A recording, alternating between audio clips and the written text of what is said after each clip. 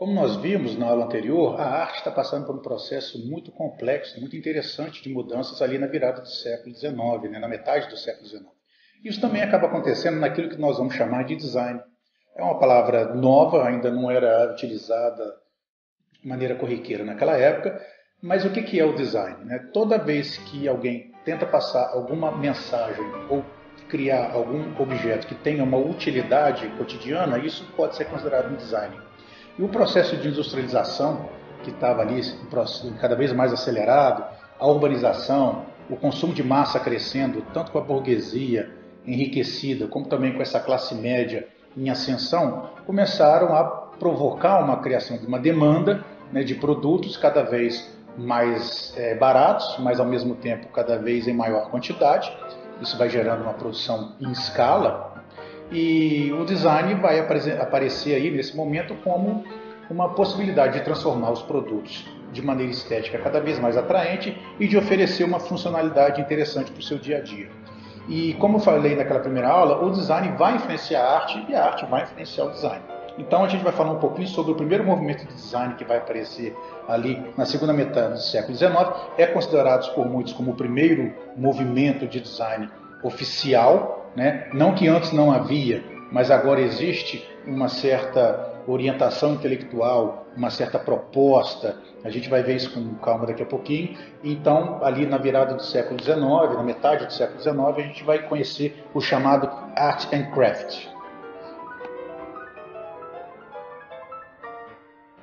Existe um debate acadêmico bastante interessante sobre o Art and Crafts, porque ao mesmo tempo que ele aparece como o primeiro movimento de design oficialmente reconhecido, é, propondo né, transformações na maneira de se produzir os, os produtos industrializados, na verdade fazendo uma crítica muito grande disso, ele também acaba se transformando num grande símbolo do consumo.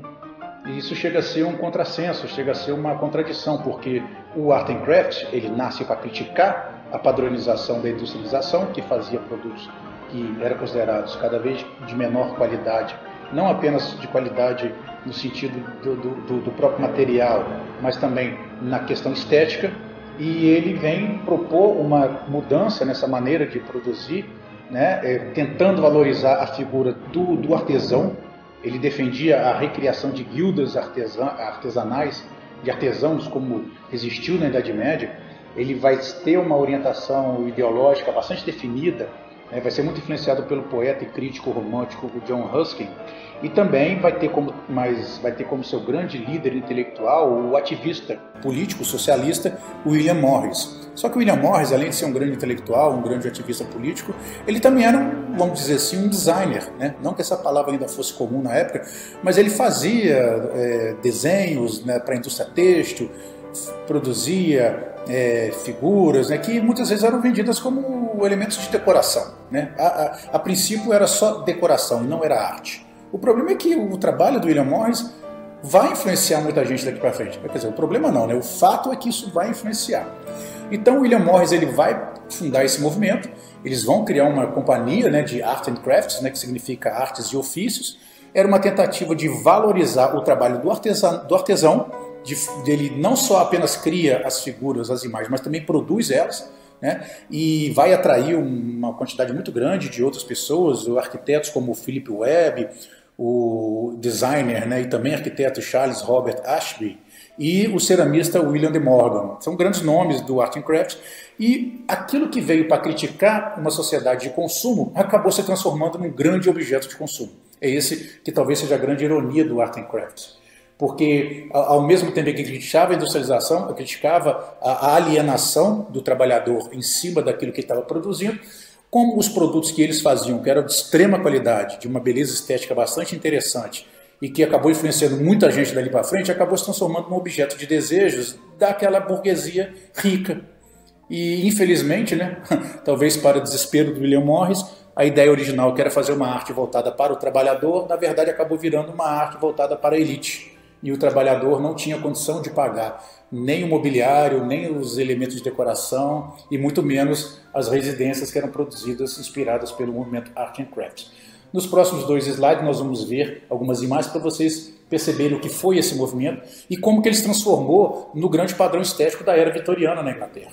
Ele começa ali na Inglaterra, né, se espalha pelo mundo, os Estados Unidos vai ter uma presença de art and craft muito forte, vamos ter também o art and craft na Europa, mas, né, sem dúvida nenhuma, quando você pensa em estética vitoriana do século XIX inglês, você está falando de art and craft.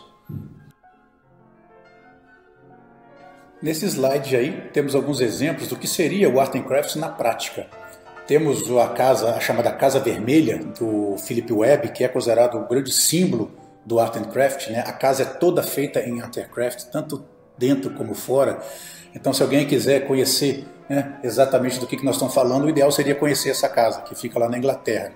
Vocês veem que é uma casa ao mesmo tempo né, muito bonita, grande, né, mas ela não tem aqueles exageros arquitetônicos que existia antes para as casas das famílias ricas. É óbvio que nós estamos vendo uma casa de uma família rica, mas quando você olha as residências dessas, de famílias com essa capacidade de consumo, naquela época você está vendo pequenos palácios neoclássicos, neogóticos, né? também havia o neogótico muito forte ali no século XIX, principalmente na Inglaterra.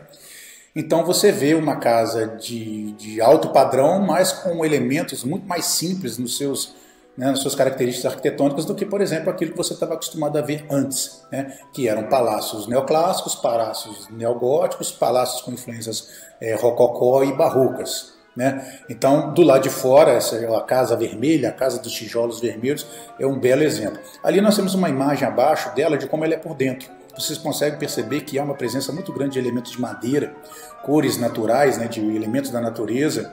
Também existe uma presença muito bacana de, de vidro, né, sempre com elementos da natureza sendo representado, como folhas, flores, galhos, né, isso em formas de vitrais.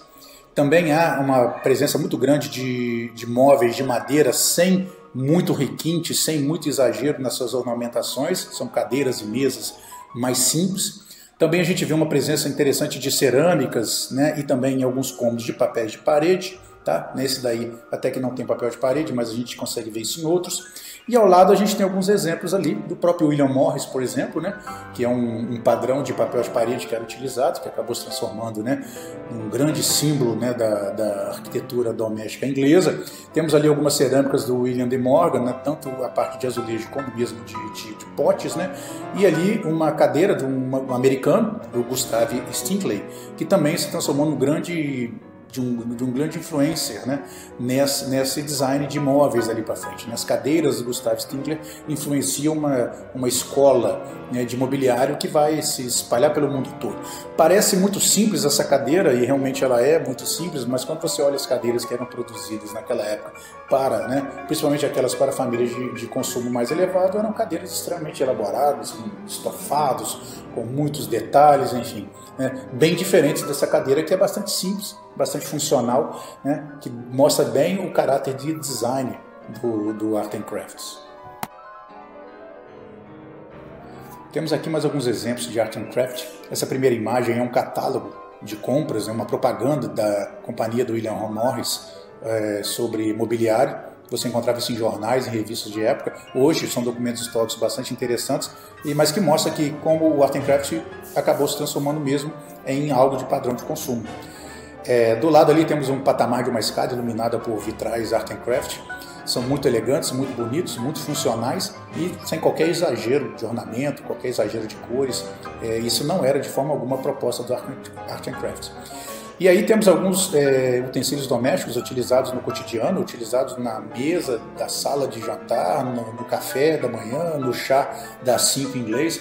E nós vemos ali são utensílios domésticos de com um valor estético muito grande, porque acabaram influenciando outros movimentos futuramente, inclusive o chamado Art Nouveau, que vai ser um dos movimentos de design e arte mais importante ali da virada do século XX, que vai dar cara ao que a gente chama da Belle Époque, né? Então a gente vai ver muito sobre o ar, o ar no voo mais à frente.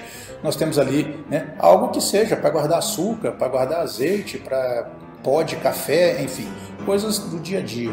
E temos ali duas lanternas, é uma moderna feita em estilo art and craft, ela é a luz elétrica, mas a lá de cima, a, do, que está do lado da escada, ela é interessante porque eu encontrei essa imagem num, num site de um é, antiquário lá da Inglaterra e ela é realmente é da época. Ela foi feita no final do século XIX. Ela é a vela, não é a luz elétrica.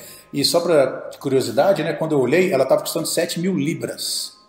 é 7 mil reais, não, 7 mil libras. Então você pode calcular isso aí por 6 e ter mais ou menos a ideia de quanto custa aquela lâmpada. Né? Se alguém tiver com dinheiro sobrando aí, quiser colocar na varanda, fica aí a dica. O Ernest Gombrich, o historiador que já foi citado aqui no começo do curso, definiu o século XIX como uma era de grandes revoluções, de constantes revoluções. E ele não estava só falando de política, economia, sociedade. Ele estava falando também de arte. Quando você olha a história da arte em retrospectiva, você vê que os movimentos artísticos históricos duravam séculos. Quando você vê o Renascimento, o Barroco, o Neoclássico, o Gótico, o Românico, que são estilos artísticos né, do período medieval e do período da Idade Moderna, você vê períodos longos de tempo, séculos. Agora, quando a gente começa a entrar na arte moderna, no século XIX, você começa a ver vários estilos, e não só com duração menor, mas também vários estilos ao mesmo tempo. Né? Se você for pegar a história da arte medieval, você vai estudar ela lá, dividir em dois ou três partes, no máximo, sei lá, quatro partes, se quiser aprofundar um pouquinho mais, você vai ver a arte é, a arte otoniana, a arte românica e a arte gótica. Tá bom, não precisa aprofundar mais do que isso não. Agora, você aqui na Idade Moderna, você vai ter aí, né, por exemplo, nas primeiras décadas do século XX, mais de 10 estilos artísticos ao mesmo tempo. Então, é uma constante revolução, uma constante mudança. E, e, e um movimento influenciando o outro o tempo inteiro. Então, nós vamos ver vários estilos de arte daqui para frente. É um período onde a arte vai ficar de cabeça para baixo. A arte moderna ela tem uma coisa muito interessante e talvez essa seja talvez a grande riqueza da arte moderna em relação à arte anterior a ela, é que toda a arte anterior à arte moderna ela já estava pronta. O que, que significa dizer isso? O artista fazia aquela obra, aquela escultura, aquela pintura, aquela, aquela arquitetura, seja lá o que for, ele fazia aquela obra e aquela obra estava pronta. Você está vendo aquilo que o artista queria que você visse. Agora, a arte moderna não. A arte moderna ela vai pressupor que o observador também ajude a completar essa obra. Nem sempre você vai entender o que o artista quis fazer. Nem sempre o artista está preocupado se você vai entender ou não. Muitas vezes você só vai entender se você parar para analisar aquela obra com mais cuidado. Na maioria das vezes, a percepção de uma obra de arte, até mesmo do seu significado, ou talvez a falta de significado, isso vai acontecer de acordo com o espectador. Então eu costumo dizer para os meus alunos o seguinte: a arte moderna ela exige que o espectador complete a obra. Ela não está totalmente pronta. Diferente de uma arte clássica, de um barroco, do, do próprio realismo mesmo, do romântico, não. A obra já está pronta. Na arte moderna não, ela não está pronta. Quem vai terminar a obra é você. Aquele que é considerado o primeiro movimento de arte moderna recebe o nome de impressionismo. Esse nome veio a partir de uma crítica bastante agressiva de uma obra do artista Claude Monet chamada Impressão Nascer do Sol, de 1872, que vai estar no próximo slide.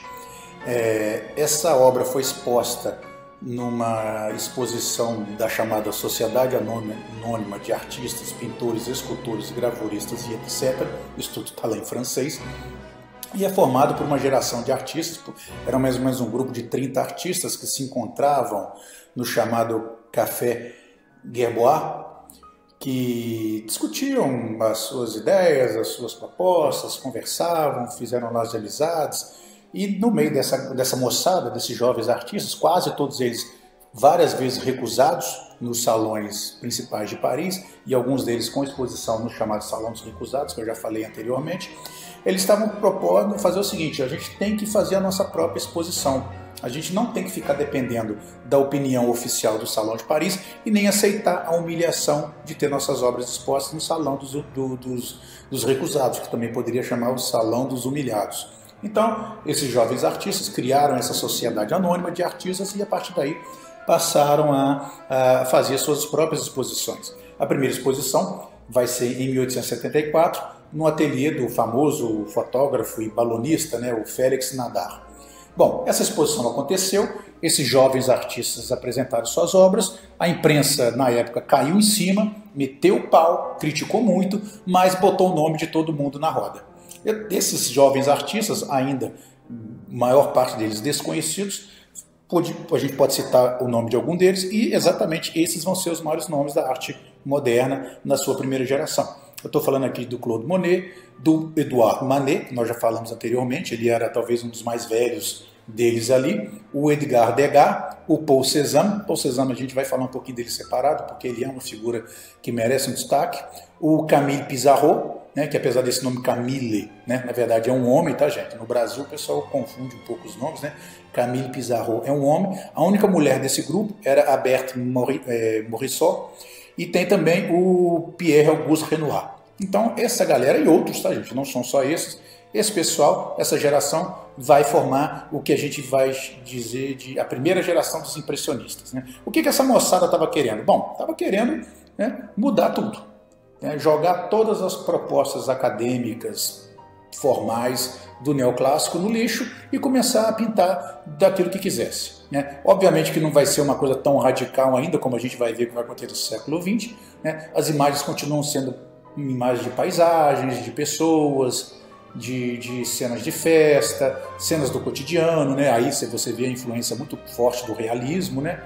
Mas você vai ver que a grande preocupação dos é, impressionistas, inclusive, né, vem aí por conta daquele trabalho que a gente vai ver na próxima imagem, no próximo slide, que é a questão da luz, a luz atmosférica, a luz e as cores. Não tem preocupação mais com o desenho, não tem mais preocupação com aquela formalidade anatômica e das formas das coisas que vinham da arte clássica. O impressionismo ele está preocupado com a impressão que a imagem causa no artista. Então a gente vai ver uma imagem com muita luz ou muita sombra, com muita névoa ou muita claridade. Você vai ver as cores muito ricas e muito presentes. Na verdade, as formas das coisas são delimitadas pelas cores e não mais pelo próprio desenho.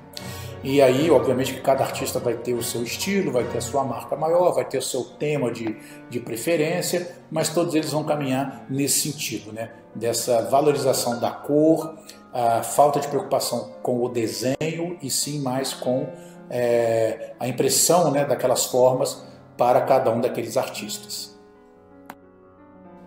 Selecionei as obras que eu considero as mais importantes do impressionismo nessa primeira geração para a gente poder debatê-las aqui rapidinho. Temos aqui o, o Impressão Nascer do Sol, do Claude Monet, obra que foi muito criticada, foi muito agredida, porque, como vocês podem ver, ela não está preocupada com o desenho, ela está preocupada com a luz. Dá para ver claramente que é um barquinho né, no, no rio, próximo de uma cidade, próximo de um porto, e o sol ali no meio das nuvens, refletindo a sua luz nas águas. Essa é a grande sacada dessa obra. O Monet está preocupado com a luz, com as sombras, com a impressão daquilo nos olhos dele e não em representar a realidade como ela é, como era feita anteriormente. Então essa começa a grande novidade dos impressionistas. Né? Ele está pedindo para que você, espectador, ajude a completar essa obra também com a sua percepção.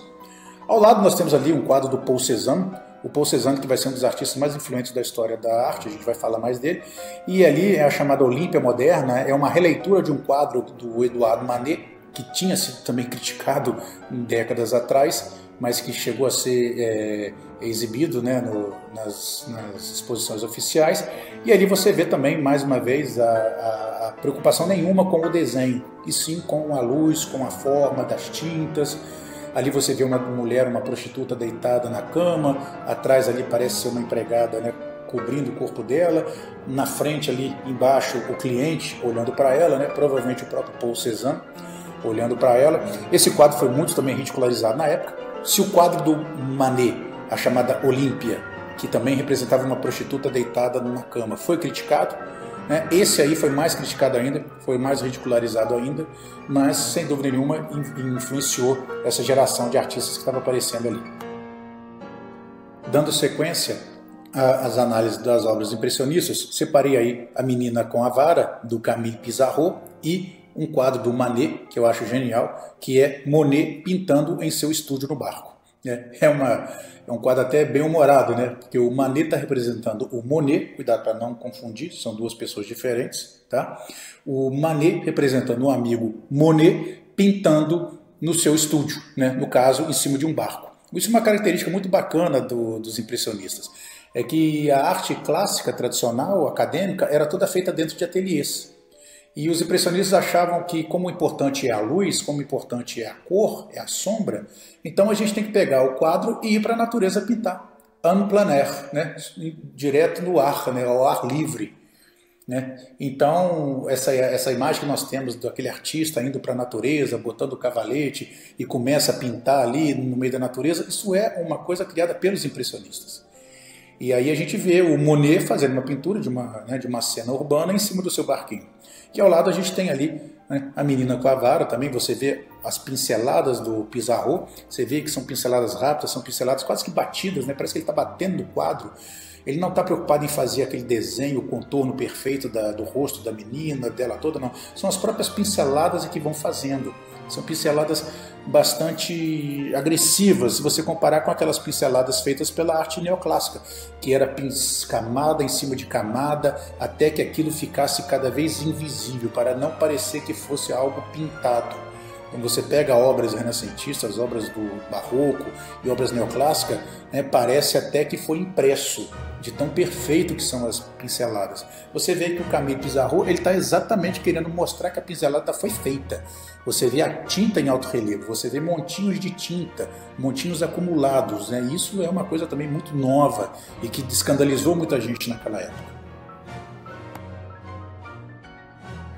Mais dois exemplos aí bastante famosos do impressionismo. A gente tem aí o Pierre Auguste Renoir e o Edgar Degas. O Renoir, ele está ali no quadro O Baile no Moulin de la Galette, que é um, um baile, como o próprio nome já diz. O Renoir adorava pintar essa alta burguesia, essas festas, esses piqueniques, essa vida burguesa parisiense, né, o Renoir gostava desse meio, seus quadros vão basicamente com essa temática. E você vê claramente aí que também o importante para ele são as cores, são as luzes, as sombras e não propriamente dito o desenho. O Degas, Edgar Degas, ele adorava pintar bailarinas, ele tem vários quadros sobre bailarinas. Ele não se considerava um impressionista, ele falava que ele, ele era realista, porque de certo modo ele pintava cenas do cotidiano, mas muitas vezes ele é considerado impressionista por conta das suas técnicas, da, da, por conta das suas pinceladas e também por conta do meio em que ele estava vivendo. Né? Ele estava muito ligado a essa turma né, do Café Gerbois, ele estava sempre ali transitando no meio dos impressionistas, então muitas vezes ele é, é, chamado de impressionista, apesar de que isso também é um pouco polêmico. Né? Ele estaria ali talvez na transição do realismo para o impressionismo. Tá? Mais três imagens do impressionismo. Temos o Claude Monet, com um dos quadros da série Nenúfares, né? na verdade são centenas de quadros, né? ele era obcecado em pintar essas cenas da natureza, que são lagoas, lagos, essas vitórias régias, essas plantas, essas flores aquáticas, o reflexo da luz na água, as pontes, enfim. Se você colocar Nenúfares e Claude Monet no Google, vai aparecer centenas de imagens e todas elas diferentes. Uma imensa série que ele vai pintar aí por cerca de 20 anos. Eu selecionei apenas uma delas, fica aí a gosto de quem quiser. É uma mais bonita que a outra. São imagens que dão bem a cara do que é o impressionismo, porque mais uma vez você só está vendo a preocupação dele com as cores e não com o desenho.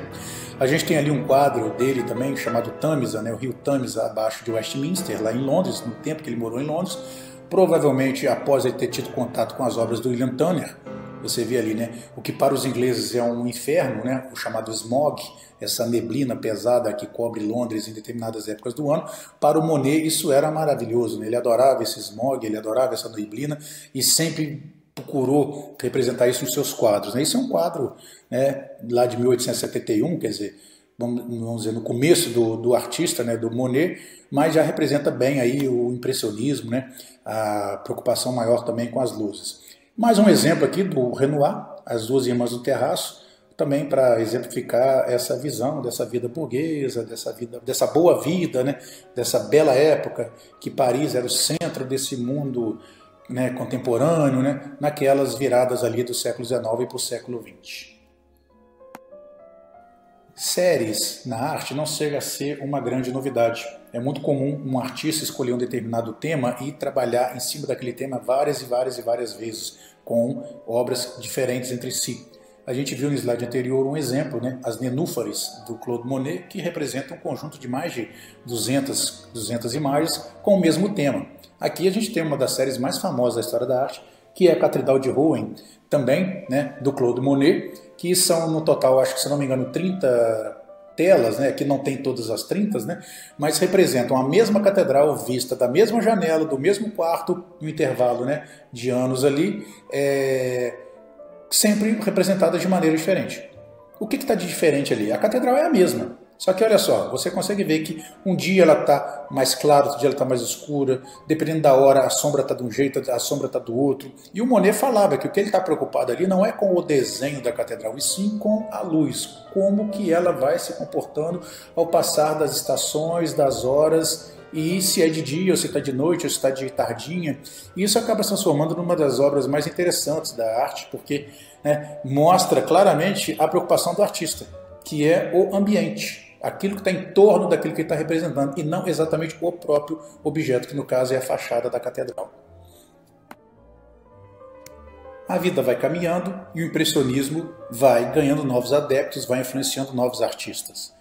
Então, por uma questão cronológica, a gente vai ver né, na década seguinte, na década ali da, de 1880, 1890, e aí entrando ali pelo início do século XX, aquilo que alguns críticos chamaram de neo-impressionismo e outros de pós-impressionismo. Isso é um debate muito interessante porque muita gente fala que, ah, por exemplo, o neo-impressionismo não é um estilo novo, na verdade é só um desdobramento técnico do próprio impressionismo. E porque está sendo executado por uma nova geração de artistas influenciados pelos primeiros impressionistas, aí então né, seria uma nova forma de impressionismo. Né? O termo acabou pegando, ficou popularizado. Temos aí algumas figuras como o Georges Seurat, o Paul Signat, Georges Lemain e Maximilien Lucet, que são os seus grandes exemplos né, do que a gente chama de neo-impressionismo. O que, que representa a novidade do neo-impressionismo? É uma técnica né, que vai receber o nome de pontilismo. Os pintores né, eles não estão mais preocupados em dar pinceladas, e sim pontos. Quando você chega perto de uma obra pontilhista, você vê que não há nenhuma pincelada, e sim pontos, são pontinhos, né? são pincéis pequenos que onde o artista vai fazendo as imagens através de pequenos pontinhos. O grande, a, a, grande diferença, além obviamente dessa técnica de pintura, é também um profundo estudo da, da teoria das cores. Né? Todos esses, art, esses artistas vão estudar a teoria das cores e vão tentar entender como que essas cores conseguem se contrastar melhor com esta ou com aquela. Então vão trabalhar sobre é, é, cores primárias, cores é, é, é vizinhas, cores contrastantes e vão perceber que de, a maneira que você vai colocando essas cores, elas vão destacando melhor as formas ou destacando melhor a, a própria cor. Você consegue fazer um verde mais vivo misturando ele com outras cores, por exemplo, com, com cores que estariam em oposição a ele no espectro das cores. Então é um trabalho científico, sim, é um trabalho teórico. E isso vai ser muito feito pelos neo-impressionistas e também, obviamente, isso vai gerar efeitos lá na frente. Né? Vamos ter outros estilos artísticos que vão usar essa, essa técnica não criada, né? mas é, defendida pelos neo-impressionistas. O pós-impressionismo né, já é um pouco posterior, já é um pouco à frente, e aí você vê também uma nova geração de artistas, e aí as pinceladas voltam, né, e as pinceladas voltam até mais agressivas, né? E no pós-impressionista nós vamos ter talvez os dos artistas que mais influenciaram na história da arte.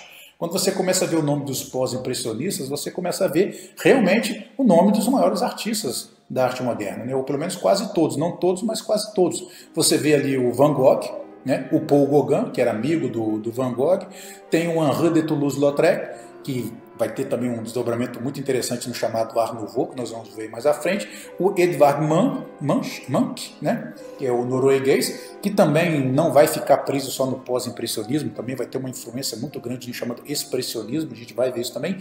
E o Paul Cézanne, que também vai ter um espaço separado para ele aqui mais à frente. Ah, talvez as duas principais obras do Georges Seurat, O Banho em Asnières e tarde de domingo na Ilha de Grand GT, Jaté, na verdade esse quadro imenso, enorme, está lá no Instituto de, Instituto de Arte de Chicago, é considerado talvez uma das obras mais importantes daquele museu. E esse quadro, nesses dois quadros, eles mostram muito bem o que é o pontilhismo. Né? É, infelizmente aqui no slide, né, se você puder ampliar a imagem na tela, quando você for assistir essas aulas no YouTube, é melhor você clicar naquele cantinho ali para a tela ocupar a, o monitor inteiro, para você poder ver as imagens e os textos com melhor detalhe.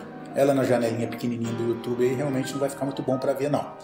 Quando se você ampliar ou você depois procurar na internet as imagens, você vai ver direitinho o que é o tal do pontilhismo, que são ínfimos pontinhos formando as imagens.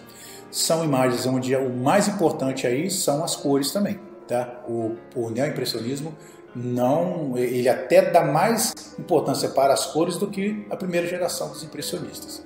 Tá? A preocupação dele aí é realmente fazer com que a cor, a própria cor é que faça o desenho. Você pode ver que não tem nenhuma pincelada nesses dois quadros, são só pontinhos de cores. Dois exemplos bem legais do neoimpressionismo. Temos aí o Porto de Roterdã à noite, do Maximilien Lucet, que retrata uma cena urbana. Você vê aí a presença muito forte da influência do Monet, das cores, da, da luz, né, o reflexo da luz na água. Eu acho um quadro esteticamente muito bonito, me agrada muito. E temos do lado ali do Paul Signac, um também um dos grandes pintores do, do chamado pontilismo, né, um retrato de Félix, Félix Fénéron, Fénéron, que é um, um, crítico de arte, que foi inclusive foi ele que deu esse nome de, de neoimpressionismo, né, quando ele estava é, vendo essa nova geração de impressionistas, ele que deu esse nome. Então isso é um quadro aí em homenagem a ele. E também mostra muito bem aí, né, você vê a questão das cores, né, das formas. É, o Sinha, ele está um pouco preocupado, né, você vê como é que ele está preocupado em fazer com que os pontinhos sigam perfeitamente as linhas e os desenhos, mas se você conseguir ampliar essa imagem, ou conseguir ela em alta definição na internet, você vai ver também que ela não tem nenhuma pincelada, são só pontinhos. O grande canal de Veneza, representado pelo Paul Soniat, também aí você já vê que os pontinhos já estão maiores, né? ele já está começando a abandonar aqueles pontos minúsculos, né? já está quase voltando a ser pinceladas, esse quadro aí de 1905, quer dizer, um pouco né, posterior aos primeiros trabalhos dele. Mais uma vez você vê que as cores aí não têm relação nenhuma com a natureza propriamente dita, isso vai influenciar muito o movimento que a gente vai chamar mais à frente lá o fauvismo. É, você vê que as cores que ele representa não estão preocupadas com as cores reais da natureza. O céu, por acaso, ele é rosa, com manchas amarelas e verdes? Não, não é. Né? O, o, a água nada mais é do que o reflexo desse, desse céu. Então você vê também mais uma liberdade que ele vai tomando ali, brincando com as cores, enfim, sem preocupação. A preocupação com o desenho já foi embora há muito tempo, agora eles estão com preocupação até mesmo com a representação das cores, de acordo com a própria natureza, eles também já não estão mais tão preocupados com isso. Temos aí o exemplo aí do George Lehmann, né, a praia em Heist, que também você vê uma praia, essa aí também é em forma, né, em técnica pontilhista, né? Lembrando, o pontilismo não é um estilo, é uma técnica. E você vê também que as cores estão cada vez mais livres, né? Tá ali a areia um pouco amarela, a água um pouquinho verdinha, o céu ali vermelho, enfim, até parece um pouco mesmo com o entardecer. Mas quando um crítico neoclássico ou um cara acostumado com pintura realista olha um negócio desse, o cara quase cai para trás. Né? Naquele momento, essas obras eram consideradas revolucionárias. Ela é de 1890. O Vincent Van Gogh, na verdade Jan Gogh, né? A gente fala Van Gogh, mas tudo bem, não tem problema não. Esse talvez seja um dos artistas mais famosos da história da arte, né? Mesmo que ele nunca se interessou por história da arte, mas tem um pequeno contato com isso, né? Já ouviu falar no Van Gogh? Os quadros do Van Gogh são muito famosos, quando são leiloados atingem preços exorbitantes, mas o Van Gogh em vida ele foi ignorado, foi né, vendeu pouquíssimos quadros, morreu na miséria, era considerado né, uma pessoa que não sabia desenhar, enfim. Né, ele teve uma vida muito trágica. Né, existem filmes, documentários muito legais sobre a vida do Van Gogh. Eu recomendo que vocês procurem, para quem quiser se interessar, para conhecer um pouco mais da vida dele. Mas aqui para gente, né, eu selecionei aqui alguns quadros, né, alguns mais importantes dele, né, os Girassóis, A Noite Estrelada, né, o, A Cesta, enfim, são quadros que sempre aparecem nas listas dos quadros mais importantes da história da arte. A influência do Van Gogh para os anos seguintes ela é incomensurável. Né? A forma dele pintar, a liberdade que ele dá nas pinceladas, as formas. Né? Você vê ali aquele céu estrelado, mas se você ficar olhando muito tempo aquele quadro, vai começar a parecer que aquilo está se movendo. Né? Ele dá um sentimento de movimento ali quando você vê o livro Campo de Trigo com Corvos, dá para ver que está ventando, ou pelo menos você consegue perceber algum assim. Né? E aquela cena ali do terraço do café à noite, que é um quadro. Eu gosto tanto desse quadro, gente, que eu tenho esse quadro lá em casa, na minha sala, tá lá. Não é original, tá? Se fosse original, eu estava vivendo né, em algum iate agora, não seria professor, mas é um quadro que eu gosto tanto, eu acho tão bonito essa composição desse, desse bar à noite, desse café na beirada da, da, da rua, as mesinhas, as estrelas lá no céu, a, luminos, a, a luz ali debaixo da varanda, e, né, e depois ali para fora, né, um pouco mais escuro. Eu acho isso tão bonito, tão, tão bacana. Né? A vontade que eu tenho de ir nesse barzinho todo dia de noite, tomar uma cerveja, bater um papo.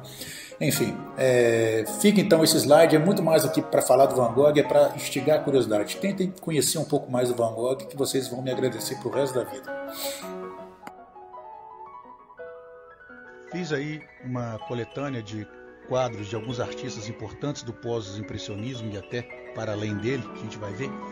Começo aqui com Paul Gauguin, um grande responsável pela introdução do primitivismo e do simbolismo na arte moderna o Paul Gauguin ele morou um tempo nas, na Polinésia Francesa, teve um tempo no Martinica, no Tahiti, acabou morrendo por lá. Ele ficou lá alguns anos pintando os nativos, aquela comunidade, e foi muito influenciado por essa visão europeia dali do final do século XIX, de que a arte deveria ser totalmente livre de preconceitos acadêmicos, livre dos preconceitos dos salões de Paris e buscar uma arte mais pura, mais visceral, mais simples, mais original. E aí vai nascer o que os europeus chamaram de primitivismo, que não deixa de ser também uma visão preconceituosa, porque na cabeça daquelas pessoas havia uma sociedade desenvolvida, que era eles, e a outra sociedade que era subdesenvolvida ou não desenvolvida, que eles chamavam de primitivos. Então, para eles, a arte africana, a arte indígena, a arte né, das comunidades polinésias, era tudo arte é, inferior, primitiva. E né, não que fosse intenção deles fazer esse juízo de valor negativo, pejorativo, mas o fato é que o primitivismo vai ser uma espécie de DNA da arte moderna. Ela vai estar presente o tempo inteiro. E começa com Gauguin e talvez vai ter com o Pablo Picasso o seu período maior de, de, de expansão. O Gauguin ele trabalhava muito a questão das cores, né? são cores muito fortes, né? isso vai influenciar muito o fauvismo, que nós vamos ver também em seguida. Então o Gauguin, né, para além dos seus de suas questões morais, né? Porque quando foi lá para a Polinésia, deixou mulher e filho para trás e ficou fazendo arte, né? Nos todos os sentidos que a palavra pode abarcar lá na Polinésia, né? Não apenas fez muitos quadros, mas também acabou espalhando doenças venéreas nas moças lá do Tahiti. Bom, embaixo aqui a gente tem o Henri Toulouse-Lautrec, que é também um dos artistas mais influentes daquela virada de século. Ele vivia no mundo boêmio, nos cabarés, nos bares de Paris, em Montmartre, né? não saía do Moulin Rouge, e aí acabou não só representando essa noite parisiense, como também é, começou a produzir peças publicitárias. Né? O Toulouse-Lautrec ele não era apenas um grande artista, mas ele também era um grande designer. É, nós vamos ver mais à frente, quando eu for falar do Art Nouveau, que o Toulouse-Lautrec está lá fazendo cartazes, fazendo peças de propaganda da, da Jeanne Avril, né, que é uma dançarina que ele era fascinado nela. As obras, peças, festas e eventos que aconteciam no Moulin Rouge, ele fazia cartazes sobre isso. Então o Toulouse-Lautrec voltará a ser falado aqui. E aqui temos o Edvard Munch, do lado aqui no canto, com o famoso quadro O Grito. O Munch, que era é norueguês, é considerado um dos maiores artistas de todos os tempos, a influência dele também é imensa.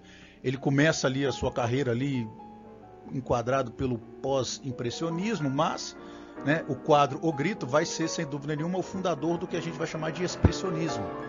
Inclusive, lá em 1908, ele vai acabar fazendo uma exposição com jovens artistas alemães. Ele já estava já consolidado como um grande mestre. Vai fazer uma exposição com um grupo chamado Die Brücke, a Ponte, que também nós vamos falar mais à frente, que vai ser considerado os fundadores ali do expressionismo alemão. O grito do Monk né, representa muito bem essa virada de século, essa vida angustiante, um, parece até um acesso de pânico que o personagem está sofrendo, um quadro muito intenso, muito agressivo, é, muito. Ele, ele, passa um movimento de, de tensão, de, de, de, movimento muito forte, né? Você vê que não tem nenhuma linha reta no quadro. É um quadro, são imagens muito fortes, né? E ele vai fazer vários quadros com esse mesmo tema. Existem várias versões do O Grito, existem lografias, existem outros quadros utilizando o mesmo tema, o mesmo cenário, não exatamente a mesma figura, mas outras também. É, enfim, é um quadro que, que vai inaugurar uma série, né, a série chamada Friso da Vida, que vai perseguir o Mank durante muitos anos. E essa obra dele vai acabar sendo uma das obras mais importantes do que a gente chama de expressionismo. Eu coloco ele aqui mais por uma questão cronológica, mas mais à frente o Mank vai voltar a ser citado aqui no nosso curso. Segundo Pablo Picasso, Paul Cézanne é o pai de todos nós. Né? Ele estava falando, obviamente, dos artistas modernos, né, do, do, dos cubistas, enfim, de toda aquela geração de artistas que iriam aparecer ali na virada do século XX. É, o Paul Cézanne, ele considerado talvez o, o, artista mais influente do século XIX, ele estava lá naquela primeira geração dos impressionistas, estava lá tomando café com aquela moçada lá, com Monet, com Renoir, com Degas, só que o Cezanne ele vai se separar dos impressionistas depois de um determinado momento, ele vai começar a criticar aquela visão deles, aquela questão só das cores, né? O, o, o, o Cezanne vai ficar preocupado é com as formas, não tanto com as cores.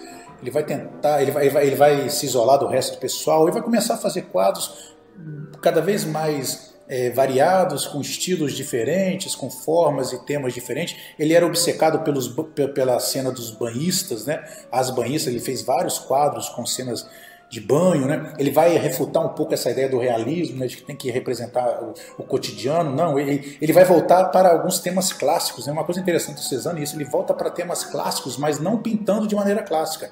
Ele volta para as banhistas, volta para a natureza, volta para a natureza morta.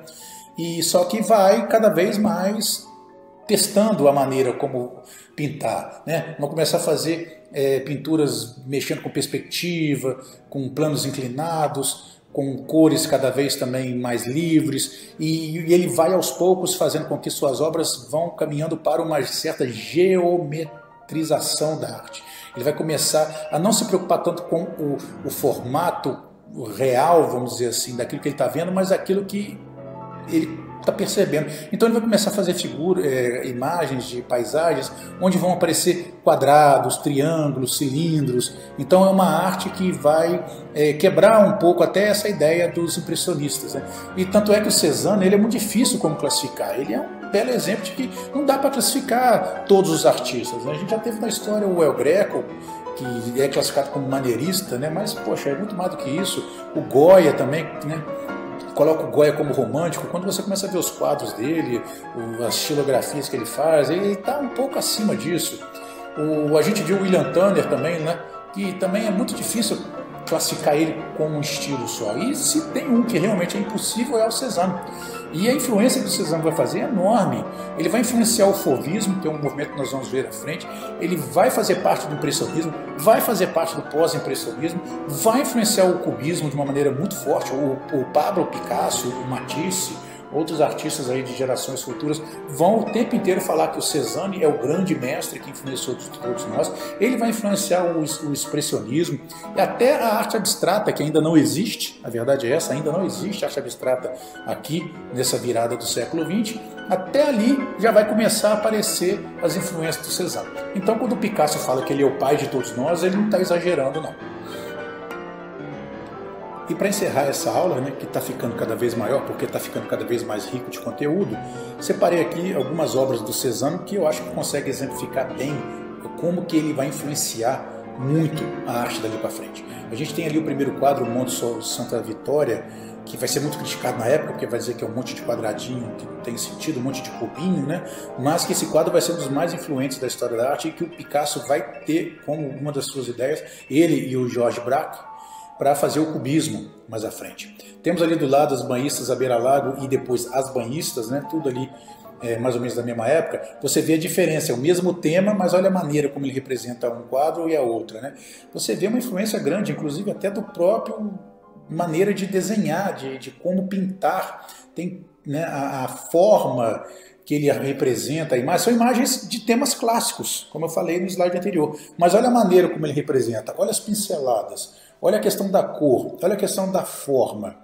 Né? As banhistas à beira do lago, essa central, tem a hora que parece uma arte abstrata. Se você olha ela rapidinho, você imagina que seja uma arte abstrata. Você só começa a perceber que são pessoas, que tem um lago ali, que tem uma floresta ali no fundo, quando você começa a olhar com um pouco mais de calma. Ali a gente tem é, os jogadores de cartas embaixo, né? Está um pouquinho fora da ordem aí, mas não tem problema. Que também mostra um pouco essa questão do, do, do desenho né? e, e da, da pintura. Isso vai influenciar muito o fovismo dali para frente, a gente vai ver. E temos ali as maçãs e as laranjas, onde também ele vai tratar o tema da natureza morta, mas também sem aquela preocupação clássica de demonstrar, de desenhar as maçãs, né? o plano da mesma maneira como deveria ser na realidade, e ele está sendo livre ali. A perspectiva que ele está colocando ali é uma perspectiva totalmente livre. Né? É, é realmente uma, uma influência né, de, de, dessa impressão da imagem à, à visão do artista. Então, tanto essas obras de natureza morta, como as cenas banhistas, as, as, cenas de paisagem, ele vai fazer muitos quadros sobre o Monte Santa Vitória, ele morava perto, né? desse monte, então tem vários quadros sobre essa mesma cena, vai ter uma influência muito grande dali para frente. O Cezanne está abrindo portas e possibilidades para vários estilos artísticos que vão começar a aparecer daqui para frente.